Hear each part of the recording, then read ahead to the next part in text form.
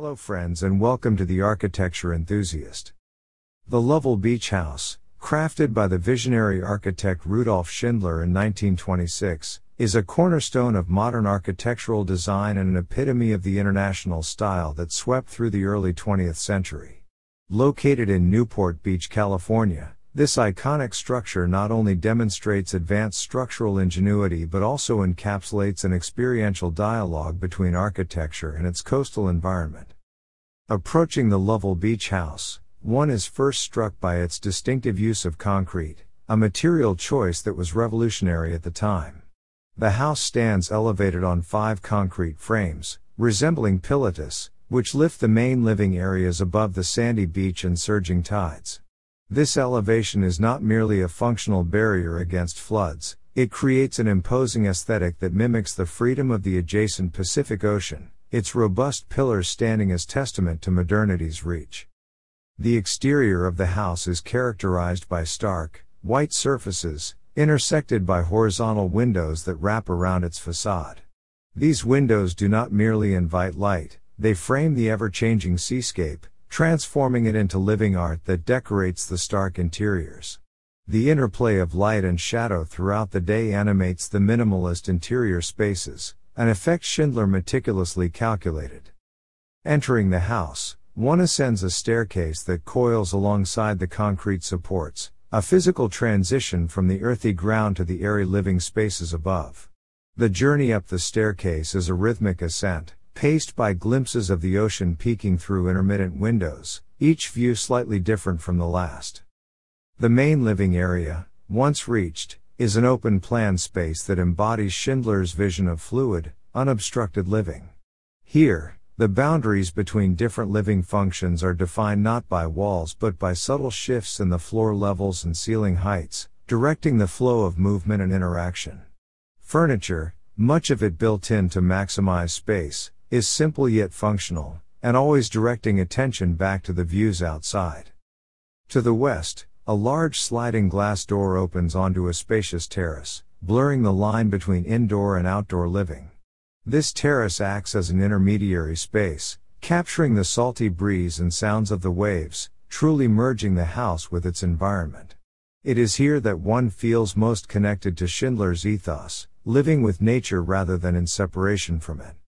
Schindler's innovative use of space and material is also evident in the more private quarters of the house. Bedrooms are strategically positioned to afford privacy while maintaining a connection to the natural surroundings. The use of smaller, strategically placed windows ensures privacy but also frames specific views of the landscape, turning each window into a picture of the outside world. The Lovell Beach House is not just an architectural structure, it is an experience crafted through the thoughtful interplay of light, space, and material. Schindler's design philosophies, his emphasis on the holistic integration of form, function, and environment, are vividly alive in this space. The house does not impose itself on the landscape but rather converses with it, a dialogue that speaks of balance and beauty. Walking through the Lovell Beach House, one is continuously reminded of Schindler's mastery in creating a living space that is both a shelter and a viewpoint, a place that is as much about looking inward to the human experience as it is about gazing outward to the embracing sea. This house is more than its concrete form, it is a manifesto of modern living, a physical embodiment of the idea that our habitats should enhance and celebrate our connection to the natural world around us. Architectural historian Elizabeth Smith praised the structure, stating, The Lovell Beach House is not merely a residence but a bold declaration of form and function merging under the banner of modernism. Schindler's use of elevated concrete frames was not only innovative for its time but presaged the widespread adoption of pilotis in modern architecture.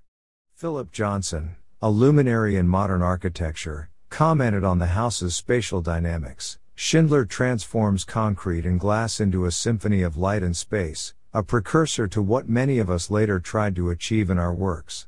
His manipulation of form to capture and interact with the Californian landscape was nothing short of visionary. However, not all views were in favor. Some critics pointed out the challenges inherent in Schindler's designs. Architectural critic Robert Sladen noted, While Schindler's experimental use of materials was groundbreaking, it also led to practical difficulties. The harsh marine environment posed a threat to the longevity of the concrete, requiring constant maintenance that the original design did not anticipate.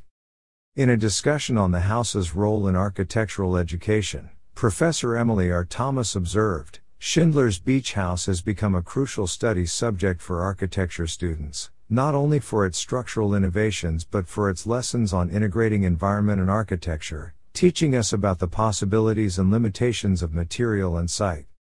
These varied perspectives provide a holistic view of the Lovell Beach House. While lauded for its architectural innovation and its challenge to traditional forms and functions, the house also invites criticism regarding its practicality and comfort. Together, these views form a nuanced appreciation of Schindler's work, reflecting the complexities of architectural innovation and the diverse responses it can elicit from critics and admirers alike.